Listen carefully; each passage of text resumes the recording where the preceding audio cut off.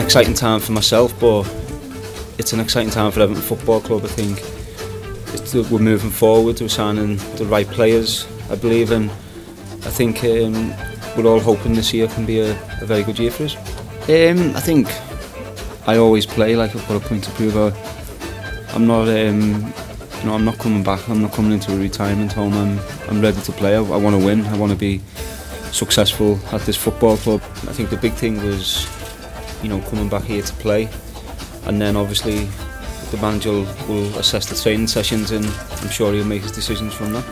You know, once I knew that he was interested in, in bringing me back to Everton, um, it was really a no-brainer. It was, um, you know, where I wanted to come and play. Um, obviously I made that aware and it was um, getting it done and thankfully it's done now and um, I'm looking forward to it.